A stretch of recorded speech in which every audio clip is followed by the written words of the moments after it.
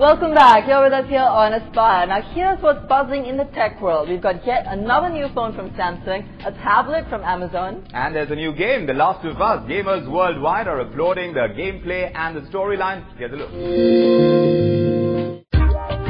Samsung has announced the Galaxy S4 Zoom, a phone that looks more like a camera and one could easily confuse it with the Galaxy camera. But it's smaller and can be used as a phone.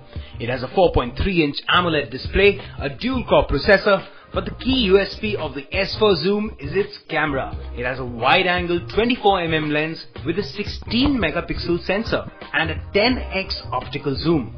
The S4 Zoom is expected by the end of summer. After marching into the Indian market, Amazon has now brought its range of e-readers. The Kindle Fire range and the Kindle Paperwhite will be available to consumers by the end of June. The Kindle Fire HD has two variants, a 7-inch and an 8.9-inch device, with the 7-inch HD starting at 16,000 rupees and the 8.9-inch starting at 22,000 rupees. Both have colored screens and are tablets more than e-readers. It's the Kindle Paperwhite which is great for reading and that comes in at 11,000 rupees. The devices will be available on Amazon.in and other popular retail stores. Do I need to remind you what is out there? A new game on the PlayStation platform has got gamers excited all over the world. The Last of Us might seem like another zombie title with run and gun style of play, but believe us, it's much more than that. Veteran survivor Joel has to escort Ellie, a young girl whose survival is vital for the human race, through a savage and unforgiving world, where the infected lurk in the shadows and ruthless gangs run wild.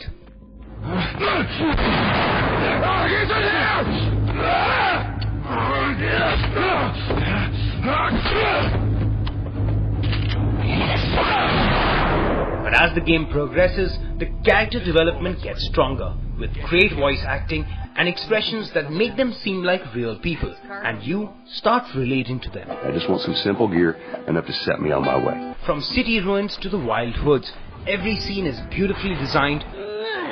The gameplay is also very rich. Ammo and weapons are low, so low that you are forced to use stealth tactics to take down enemies. The game feels real on most accounts, and that's what makes it so immersive. It's one of those rare games that you never want to end. It is storytelling and game design at its best, and for a moment you will forget that this is a game and not a movie. If you want to know what a game is capable of, grab a copy. You won't regret it. Some of these games are even more intense than Hollywood blockbusters. But even the world of gaming consoles, Vikram, it's so intense these days. Yes, and now with the PlayStation 4 and the Xbox uh, One announced, here's what you need to know before you go out and pick your gaming console.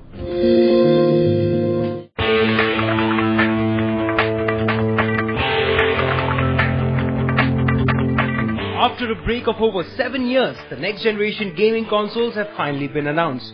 And come fall 2013, the Xbox One and PlayStation 4 will be fighting their way to your living room. So it's a good time to consider your gaming options and know which is the right console for you.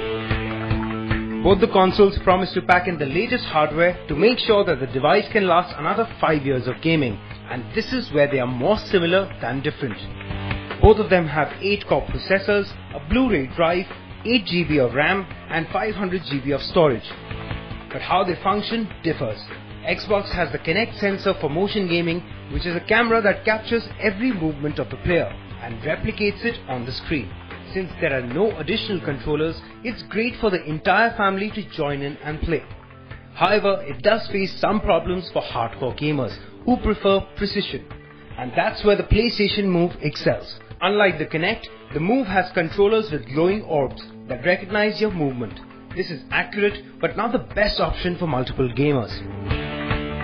The Kinect also takes advantage of becoming the controller for all your entertainment needs as it recognizes voice functions, can play live TV and even make Skype calls.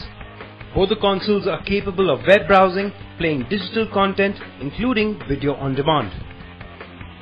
It's in the details that they differ. The Xbox One is region locked, will charge a used game fee from the publisher's end and will require an internet connection to activate the console for use.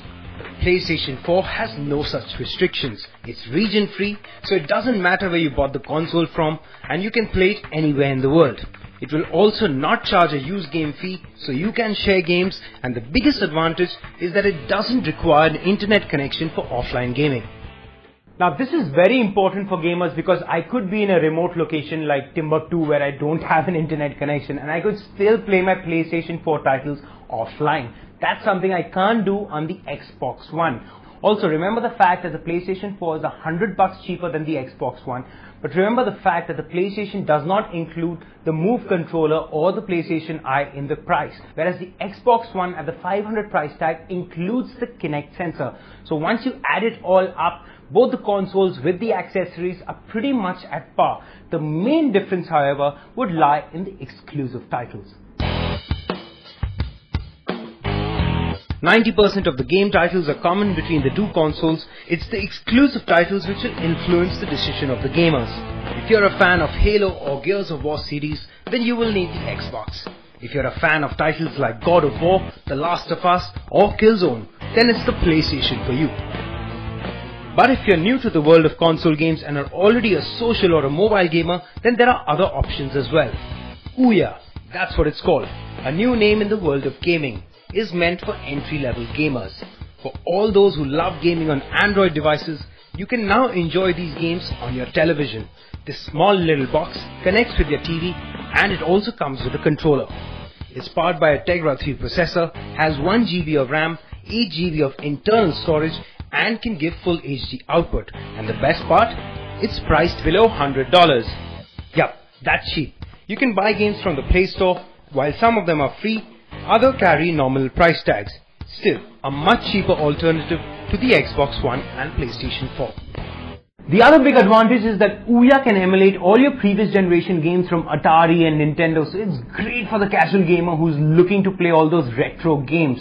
But don't compare it to the Xbox One and the PlayStation 4. The graphics are nowhere close. It's only meant for the casual gamer. If you want intense action and mind-blowing graphics, then you'll have to settle down for the Xbox One or the PlayStation 4. Time for us to take a quick break now, but fashion coming up in just a bit. That's uh-huh. right. Monochrome is really the rage these days. We tell you all about it when we come back.